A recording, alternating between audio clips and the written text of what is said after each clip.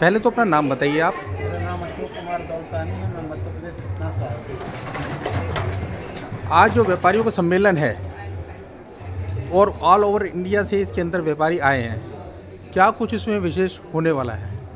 देखिए अब हिंदुस्तान का व्यापार बदल रहा है और उस बदलते हुए व्यापार में हमें अपना व्यापार कैसे करना है?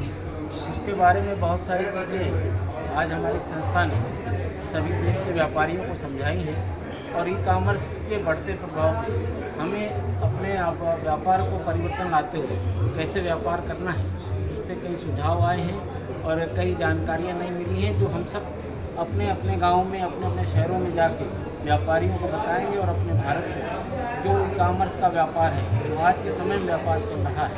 उस तरह किस तरह हमको उस लाइन में आना है और अपने व्यापार को बढ़ाना है हम उस पर काम करें अमेजोन वगैरह जो कंपनियाँ आई हुई हैं उनकी वजह से आप लोगों के व्यापार में कितनी परेशानियाँ हैं ये बताइए। ये अमेजन सहित जो विदेशी कंपनियाँ हैं उनसे हमें कोई परेशानी नहीं है। परेशानी है उनके व्यापार में जिस तरह से भारत के नियमों पे वो अनदेखी करके और काम कर रहे हैं। हम चाहते हैं वो नियमों से काम करें हम किसी भी कंपनी से घबराते या भारत का व्यापारी इतना कमज़ोर नहीं है। पर वो कंपनियाँ जो व्यापार सरकार के नियमों का कानूनों का उल्लंघन करके काम कर रही हैं हमें उनसे एतराज़ है। और और आगे व्यापारियों को किस प्रकार से व्यापार करना चाहिए? जैसे अब डिजिटल ज़माना हो गया है उस पर आप लोगों व्यापारियों पर कुछ परेशानियाँ हैं? जिस तरह का चलन है, उस हिसाब से हमें अपने आप को बदलना होगा।